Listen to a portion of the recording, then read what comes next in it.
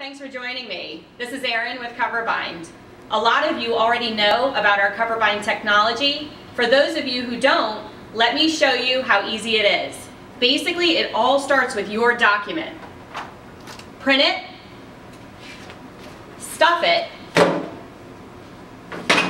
bind it. In a matter of seconds, you have a perfectly bound document. Next, I'm going to show you how this drop and go technology can work for you. So now that you're familiar with our drop and go technology, let's take a look at the newest addition to our family of binding systems, the 9000EX. Built with the same speed and efficiency as the 9000, the EX allows you to bind larger documents that would normally have to be processed manually. So now you can bind three quarter inch to one and a half inch documents substantially faster than traditional punch and bind.